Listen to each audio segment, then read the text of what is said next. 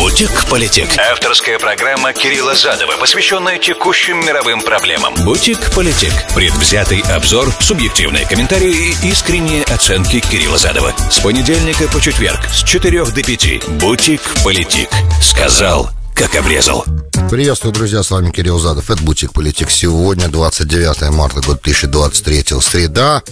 У нас сегодня насыщенная адженда, но мы попробуем в этом океане разобраться, выплыть из него океане, не буду говорить чего, много чего интересного, правда. Значит, во-первых, ну, конечно же, желание Зеленского увидеться с Си Цзиньпинем очень интересно.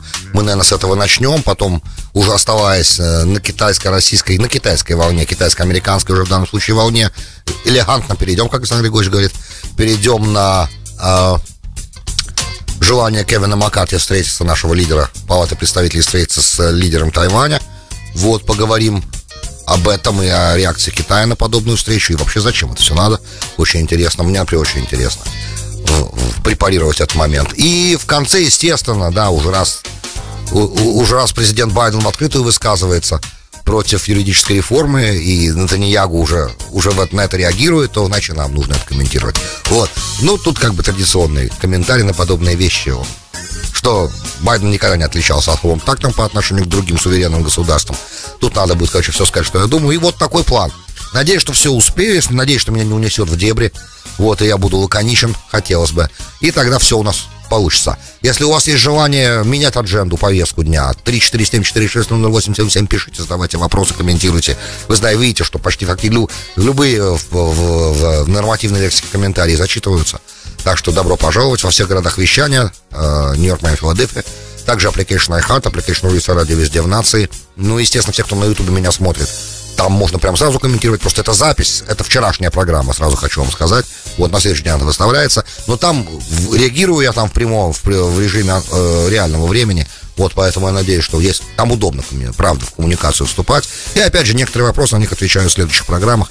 Те, кто слушает меня на SoundCloud, любой точки земного шара, ищите меня в Facebook, Твиттере, задавайте ваши вопросы там. Бутик-политик. Сказал, как обрезал. Ну что ж, друзья, давайте начнем. А все ожидали после визита Си в Москву и достаточно длительных разговоров с президентом России по разным поводам, в том числе и по Украине, естественно, были разговоры. И, правда, они не были то, что называется здесь in a spotlight. Да, Украины почти не касались стороны в первый день переговоров Путина и Си. Э, информация была, что, ну, Путин сам сказал, что как бы я, э, мы знакомы с э, предложением из 12 пунктов китайской стороны, и мы внимательно его изучаем, и как только ситуация, да, суммируя все, что было сказано в итоге в течение всех этих трех дней по этому вопросу, а в, то в основном только в первый день слова были какие-то по поводу Украины произнесены в контексте визита в Москву, э, суммируя все это, можно сказать это таким образом, что, выразить таким образом, что э, как только ситуация будет созревшей для э, применения, да, прикладывания этого китайского предложения, мы обязательно все это учтем и, короче, будем стараться применять. Вот примерно так это прозвучало, очень дипломатично, опять же, понятно, что на таком уровне, когда идут разговоры, достаточно высокие, да, выше не бывает между этими двумя странами, то стороны будут стараться сохранить, естественно, достоинство друг друга, не дай бог, чтобы это не прозвучало с каким-либо пренебрежением, да, не то, как когда-то э, когда Франсуа Оланд пытался выступить из Ближневосточной инициативы и собрать конференцию по Ближнему Востоку в Париже, как, э, не так, как израильские лидеры на это предложение реагировали вслух. Да, вот нет, вот таких пощечин, понятно, что никто никому отвешивать не будет на тот уровень отношений. Поэтому...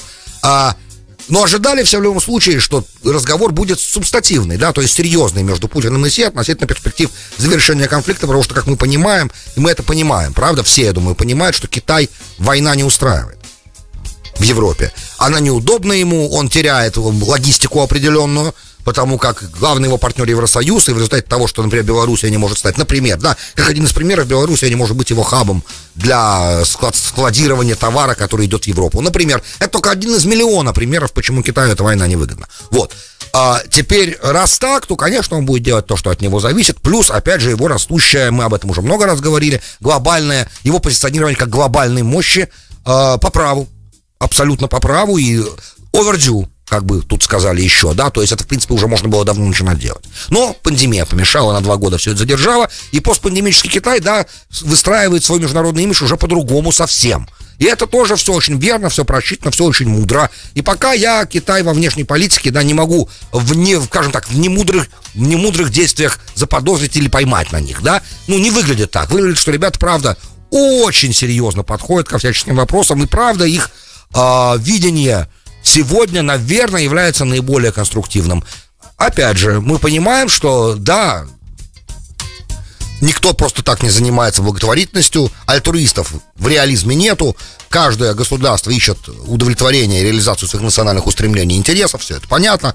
Но, тем не менее, мне представляется роль Китая больше здесь э, конструктивная, созидающая сегодня в мире. Опять же, есть некоторые моменты, мы их коснемся чуть позже. Короче, все ожидали звонка, да, завершая эту многословную преамбулу. А все ожидали звонка, который должен, по идее, бы последовать после этого разговора с Путиным Зеленскому от Си Цзиньпиня. Но звонка не произошло. И Зеленскому стали задавать вопросы, как я понимаю, мол, а что Китай, а вот как Китай? И он сказал, что вот до войны последний раз мы с ним говорили, с Си Цзиньпинем, общались. И с момента начала военных действий ни разу у нас с ним не было никакого контакта. Ни телефонного разговора, ни тем более, естественно, визита не было. И я бы хотел, чтобы он приехал. И это меня заинтересовал момент, потому что приезжающий в Киев Си Цзиньпинь, это такое, на самом деле, стейтмент, такое заявление – ведь все понимают, участники всего, да, все заинтересованные стороны, в данном случае США, Украина, Евросоюз, ну, давайте скажем, Германия, Франция, да, Евросоюз. Евросоюз это такое эфемерное бади, на мой взгляд, да.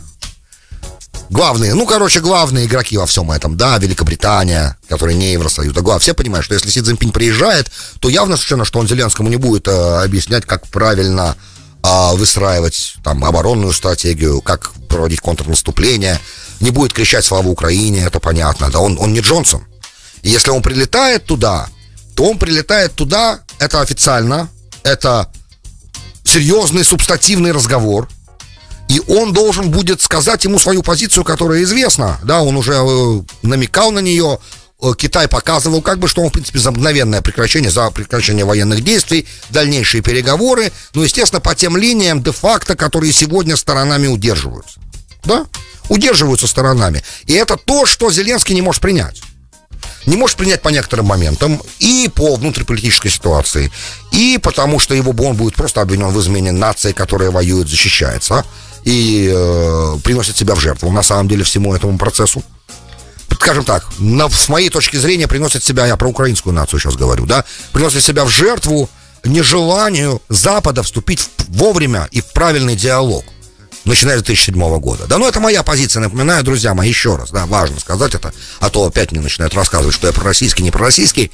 А Радио РУСА является американской радиостанцией, не имеющей никакого иностранного финансирования. Ваш покорный слуга высказывает здесь свое собственное мнение. Собственное мнение. Мое мнение ни, никаким образом на него не оказывает влияние никакое государство. Я не являюсь иностранным агентом. А, я американский гражданин в том числе, да, у меня двойное гражданство. Но я не имею никакого иностранного финансирования. Просто для того, чтобы мы определить. Я на самом деле независим в своих суждениях. Мое мнение, это мое мнение, оно может не совпадать с мнением редакции, естественно, радиостанции. И никто не влияет на него. Никакой государственный агент, никакого другого государства. И я не э, являюсь как бы оплачиваемым сотрудником никакого другого государства. Я выражаю свое собственное мнение, я независим в том, что я говорю. Теперь. И никто мне не вкладывает в рот слова. А все прекрасно понимают, что Си Цзиньпинь, когда прибудет в Киев, если и когда он прибудет в Киев, то разговор его с Зеленским будет, не будет разговором Джонсона. Да, не будет разговором Ниши Сунака, не будет разговором премьер-министра Эстонии или э, натовских официальных лиц, кто там туда к нему только не прилетал. И даже не будет э, разговором премьер-министра Японии Кашида, который тоже на самом деле не очень-то милитаристски настроен, если честно, да, и он просто, он, да, с Западом един в санкционном давлении, но его подход к украинскому конфликту сильно отличается от американского. В любом случае, это будет разговор честный, и он будет ему объяснять, что на самом деле Китай бы видел бы условиями для прекращения конфликта, и как Китай видит прекращение этого конфликта. И то, как Китай это видит, оно, да, повторяем этот момент, оно не подходит для сегодняшнего Зеленского никак. Поэтому такое приглашение, на мой взгляд, может означать только одно. Опять же, мне представляется так что он начинает, президент Украины, начинает потихонечку понимать, что в какой-то момент американский политический истеблишмент устанет от того, что происходит. И видит он, естественно, риторику республиканских фронтранеров Трампа и Десантиса. Он понимает, что в случае в 24 году перехода президентского кресла в республиканский лагерь а, поддержка будет сильно сокращена. Опять же, никто, это дурной тон сегодня в Америке, скажет, что, ребят, нет, мы хотим мира, нет, нет, нет.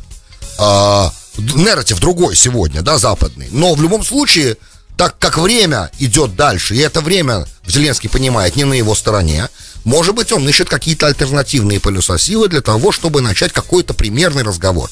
Это для меня знак именно вот такой. Я могу ошибаться здесь, но мне представляется, что это сигнал того, что, в принципе, теоретически возможен разговор, а, который не будет входить в канву американского видения. Опять же, он возможен в теории. Как на практике может получиться, я не могу себе пока этого представить, учитывая, что, опять же, до шнурков на ботинках солдат предоставляется Соединенными Штатами. Поэтому, ну, очень сложно себе представить, что вдруг руководство Украины, да, в лице Зеленского пойдет не как э, западные партнеры все время говорят. Очень сложно себе это представить. Опять же, Могу ошибаться, сто процентов могу ошибаться. Но мне представляется, что не было бы смысла Зеленскому звать Си Цзиньпиня в Киев, если бы э, не было за это, не стояла бы за этим идея в реальные переговоры вступить, по крайней мере. И для я вижу в этом очень хороший знак. Теоретически возможно, практически, не как позволит ли этому произойти Вашингтон, один процент вероятности, что да. В основном, конечно, все усилия будут на саботаж подобных вещей. Я так представляю себе это, думаю, что я окажусь прав, а хотелось бы, чтобы я оказался неправ. Это первый момент. Значит, второй момент по Бахмуту. Потому что опять тема возникает и возникает. С лета идет, идет бой за этот город. А, и все эти разговоры, даже Wall Street Journal уже прекратил о том, что Бахмут не имеет такого важного стратегического значения. Он, может, и не имеет прям уж такого супер-дупер важного стратегического значения, но он имеет невероятно символическое стратегическое значение и для Украины, и для России. И это сегодня главная точка противостояния, да. И Зеленский вот вчера, по-моему, сказал опять, что вот, э, если русские возьмут Бахмут, то это будет означать, что Запад почувствует, что мы проигрываем. Я, опять же, перефразирую то, что он сказал, я сжимаю это в одну фразу. На самом деле там больше было сказано. Но понятно, что моральная цена взятия русскими Бахмута для Зеленского очень высока. Поэтому не просто так там погибают украинские солдаты, ну, естественно, русские солдаты. А, как долго сможет украинская сторона Бахмут защищать, зависит от того, как долго сможет российская сторона продолжать эти атаки. И мне представляется себе, что опять же здесь время работает против украинской стороны. И хотелось бы, конечно, да, мне бы хотелось бы, чтобы прекращение огня наступило до того, как э, трагическая развязка в этом месте бы произошла. Опять же, э, верю ли я в то, что если, допустим, русские возьмут Бахмут, да, или начнется украинское контрнаступление, и русские будут отброшены от него, да, российские войска, а, будет ли это началом как бы такого стелмейта, который, да, такого застоя, что в итоге приведет наконец-то уже к переговорам, все тоже возможно. Но мне бы хотелось, конечно, чтобы люди в таком, я думаю, что любому нормальному человеку хотелось бы, чтобы люди в таких количествах, о которых нам сообщают разные издания, даже цифры приводить не хочу, ежедневные же цифры потери с той с другой стороны, их же проверить никак нельзя, эти цифры. Поэтому и приводить их смысла не имеет. Но они колоссальны. Если правда хотя бы половина того, что нам рассказывают разные средства массовой информации, они это колоссальные потери. И хотелось бы, конечно, чтобы бессмысленно люди перестали друг друга убивать, учитывая, что уже такое количество времени ни одна сторона не может там взять верх. Да, ну и опять же, русские продолжают наступать, но это пометровое наступление, оно чрезвычайно дорогого стоит, и в плане потерь, естественно, в основном в плане потерь. Поэтому я не знаю, на самом деле, может быть, нужно как бы сторонам уже прийти к какому-то началу какого-то диалога. Опять же, вполне возможно, что какой-то диалог идет, о котором мы не знаем. Опять, еще раз, и еще некоторые моменты. Еще же есть, появились игроки, на этой поляне, которых мы не подозревали, что они есть, но они есть. И вот все эти обмены пленными последние, если не ошибаюсь, саудиты вообще были брокерами этих, э, этих обменов. То есть есть еще игроки совсем с третьей стороны, которые явно, у которых, кстати, отношения с Россией очень хорошие, и, как выяснилось, неплохие с Украиной, и они, им удается то здесь, то там вызвать определенные улучшения. Я понимаю, что Эрдогану сейчас не до Украины, это очевидно. Э, ему сегодня, у него сложная ситуация, ему меньше двух месяцев осталось до выборов президентских, и его оппозиционный кандидат оппозиции очень силен. Правда. И пока опережает его даже по опросам, что вообще, в принципе, само по себе уже удивительно. Вот. А, поэтому ему сейчас не до этого, ему, наверное, надо сконцентрироваться на внутренней адженде. Наверное, да. И, естественно, по ликвидации последствий землетрясений, в такой ситуации разные другие игроки, наверное, могут э, выйти на арену. Вот примерно, что я хотел по, по, по всему этому поводу сказать. Э, опять же, то, что мы не наблюдаем никакого, то есть как, кажется нам, что в информационном поле новости из Украины перемещаются на вторые и на третьи полосы. А, Аль-Джазира, например, сегодня одну новость дала про Украину, про посещение Рафаэлем Гросси Запорожской а, атомной электростанции, которая под контролем российских военных. А, инспекция прошла. В общем, она уходит уже, да, если все новости звучат, допустим, первые полчаса, то Украина на 25-й минуте. Можете себе представить, потому что есть очень много новостей других, которые затмевают Украино-российскую адженду сейчас совсем. Да, то есть как бы привык мир уже, да, к этому мир привык, как только мир привык, уже все-таки больше года войны, мир привык, это больше не новость номер один. И в этой ситуации теоретически шанс на то, что какая-то договоренность может быть достигнута, он, он остается. С другой стороны, я не очень-то представляю себе а, эту пропасть между тем, на что Путин, допустим, готов был бы в моем понимании пойти как компромисс, а, это намного меньше того, что Зеленскому нужно для того, чтобы такой мирный договор заключить. Или хотя бы перемирие. Так я это вижу, и пока эта пропасть настолько большая между тем, что может быть предложено, и тем, что может быть принято, что я не вижу пока компромисса сам по себе. Да? Вот просто его не вижу. Поэтому здесь, э, опять же, без участия американской стороны напрямую я не представляю себе. Знаешь, одно дело, когда э, приходится сталкиваться с открытым давлением, но это все должно происходить, опять же, да, это очень важно. Все это должно происходить, такое давление должно происходить в открытом пространстве, да, то есть Вашингтон должен открыто говорить тогда, что вот, ребят, мы настаиваем на такой позиции. Ну, позиция Вашингтона другая. Вашингтон все время говорит, что Украина совсем суверенна в принятии своих решений, и Вашингтон никак на это не влияет. То есть 40 миллиардов там дает, вооружение поставляет, э, шнурки, опять же, вышесказанные. Все вместе, да, Американские аудиторы работают сейчас в украинских министерствах, проверяют, куда идут деньги, все. То есть реально э, примерно как, э, ну не так, как с Ираком работали, но примерно так, да, когда было вторжение американское в Ирак, примерно так. И тут вдруг, э, а, а, а Зеленский сам по себе решает все. Немножко странно для меня, если честно. Вот, поэтому если Вашингтон вот эту вот э, э попытку, вот эту вот маску сбросит, скажет, да, и мы решаем вопрос то тогда намного всем станет легче, намного быстрее можно будет заключить, найти какой-то компромисс, может быть, с Россией. Я вижу это таким образом. Я смотрю на вещи реальные, я понимаю, что есть определенные моменты, в которых Россия вряд ли отступит в ближайшее время. И, поня... и есть определенные национальные интересы Украины, которые есть, да. И пока государство существует, и оно сопротивляется, оно воюет, нужно на том моменте, который есть, да, не доводя до эскалационного, то есть не реализуя весь эскалационный потенциал этой войны, который есть, и даже его половину, не хотелось бы нам всем этого, начать какие-то переговоры. Я все время об этом говорю, но похоже, что это бесполезный момент. Но, в принципе, опять, Вашингтон должен сбросить маску того, что он, не он решает вопрос. Пусть уже Вашингтон скажет правду и начнет решать вопрос. Тогда он начнет решаться, правда. Так мне представляется. А, ну и опять же, от общего Вашингтона, Амери... э, э, пекинского общего состояния отношений очень много зависит. И вот э, президент Тайваня летит в Нью-Йорк, вылетела сегодня.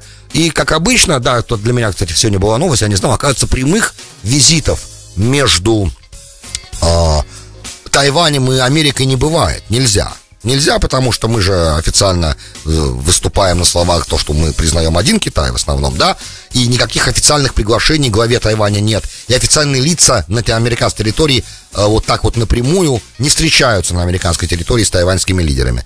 Но транзитные полеты возможны. Это традиционный транзитный пролет, как он называется, летит. Э, Цай, она летит, э, Цай, она летит в Белиз и Гватемалу, и, естественно, как можно лететь и Гватемалу, нельзя же напрямую лететь туда. Она летит через Америку, и, соответственно, в Калифорнии она должна, по идее, по слухам, встретиться с Кевином Маккарти.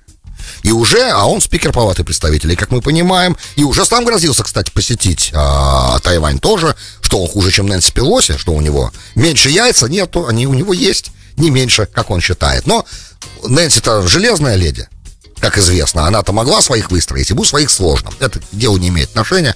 А, но уже Китай с официальным заявлением выступил и сказал, что, ребята, это, да, кстати, если он да, встретиться с ней, то это будет самый высокопоставленный американский чиновник за всю историю на американской территории, официально встречающийся с главой Тайваня.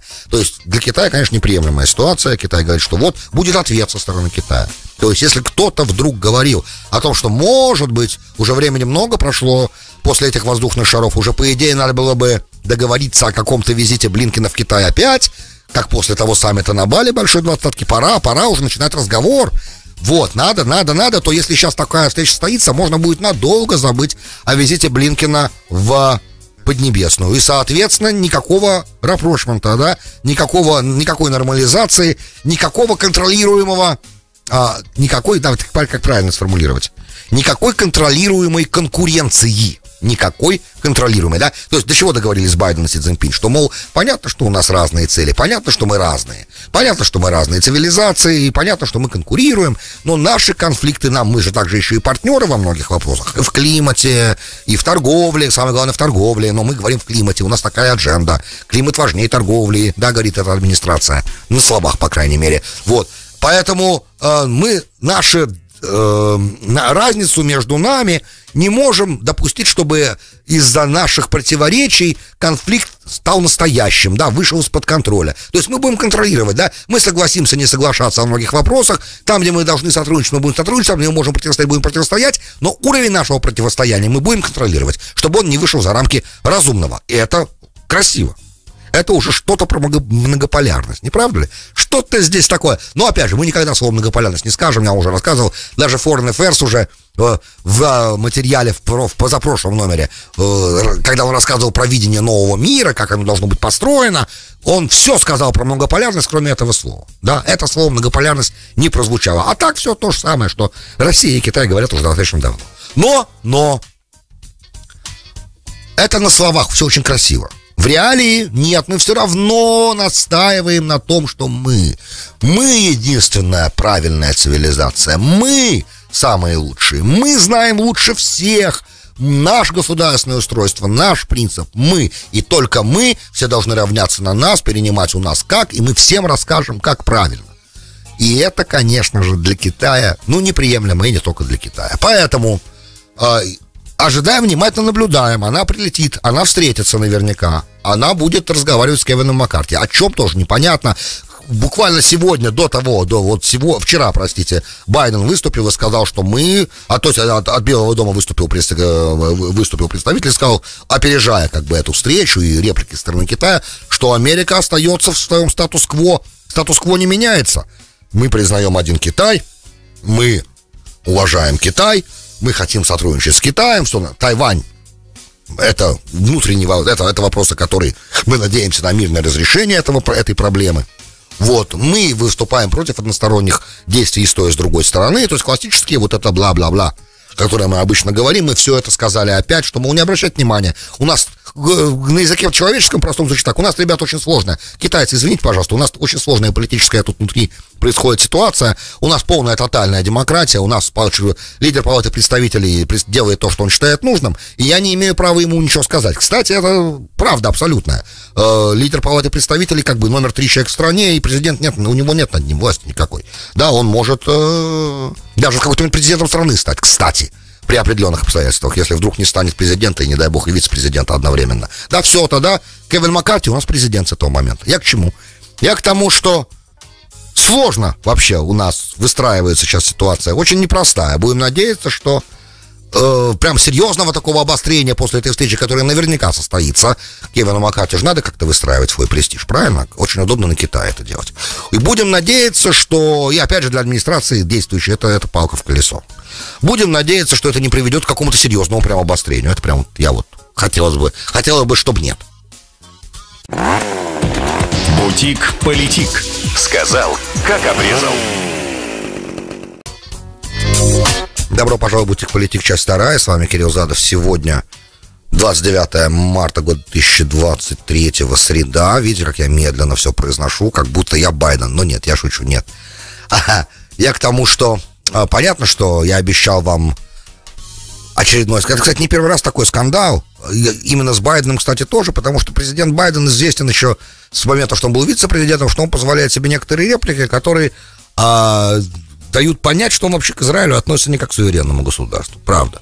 То есть... А, если президент другой страны, которая не Израиль, как мы понимаем, позволяет себе говорить, что глава другого государства должен делать, он считает, что у Израиля нет суверенитета своего, и что Америка... Ну, так это выглядит, да? И что Америка на самом деле... Э, может себе позволить такие, э, такие давать даже не то что рекомендации, а реально указания о том, как э, вести бизнес. И последнее его заявление о том, что Натаньягу не может продолжать двигаться по пути этой юридической реформы, это, в принципе, естественно, то, что называется по-английски intrusion, да, infringement on sovereignty, если быть правильным, да, то есть вторжение, вторжение на, территорию, на другую суверенную территорию, политическое, политическое вторжение. И, естественно, жесткую очень реакцию от э, лидера Израиля, от Натаньягу, это вызвало в час ночи сегодня уже, он э, давал, сделал в час 30, он давал по израильскому времени в час 30 ночи, он давал ответ на это, что э, мы как суть ответа, что мы разберемся здесь, как бы это ни, никакому давлению мы не, сдад, не поддадимся, даже если это давление идет от наших лучших друзей. Вот. Ну и потом на саммите, виртуальном саммите демократии, который организовал Госдепартамент, я даже его не касался в программах, но он был, он сказал, что э, наш союз с Америкой unshakable, да, то есть его никак ничто не может потрясти, но в любом случае мы как бы сами тут разбираемся, мы знаем, иногда у нас бывают разногласия, короче, такая суть. Но, в принципе, это вызвало дикий фурор в Иерусалиме, это заявление президента Байдена. А, опять же, Э, многие, я вот сегодня слушал, например, арабских больших аналитиков, серьезных докторов политологии, которые вот Марван Пшара, например, говорил сегодня, что сейчас для Ягу fateful moment, что если он сейчас, вот сейчас в Ликуде могут задумать его переворот, переворот. Э, и вот сейчас, вот так видя то, что происходит, и понимая, что он слаб, и что Э, в коалиции у него есть намного более серьезные игроки, которые его заставляют э, решать вопросы так, как основная часть Ликуда не хочет, например, да, мейнстрим Ликуда. Это имелся в виду, естественно, смотришь Бенгвир и ультраортодоксальные партии. Вот. И если он не сможет deliver, если он не сможет доставить такую реформу, которую им надо, юридическую, э, реформу судебной системы, то они просто его сожрут, и коалиция развалится, пойдут на новые выборы. Я вообще от израильских комментаторов в последнее время это все слышу. Я вам хочу предложить, это как бы все понятно, этот сентимент понятен. Завтра у меня в гостях должен быть Давид Ройтман, и мы с ним обсудим. А, традиционно с ним мы обсуждаем а, внутреннюю израильскую адженду. А, я вам хочу другую предложить историю, да, она мне больше нравится. Может, я, конечно, ошибаюсь, заблуждаюсь, но мне нравится эта история. Традиционно любое давление с демократической стороны, именно от демократических президентов, которые с Ликудом, с лидерами Ликуда всегда были в непростых отношениях, всегда. Уж если республиканские некоторые лидеры с лидерами Ликуда были в непростых отношениях, помните, а, Шамира и Буша старшего, например, очень непростая динамика. И такое бывало, да? А, то тем более уже демократические президенты с ликудовскими лидерами всегда имели проблему. Потому что Ликуд, конечно, правая партия. Несмотря на то, что он все больше в центре, но это центр справа. Давайте скажем, центр правый он светский, он, то есть там, там есть религиозные люди, но сама по себе партия светская. Вот. И любое давление с американской стороны всегда, как в джиу-джитсу, используется для своей пользы.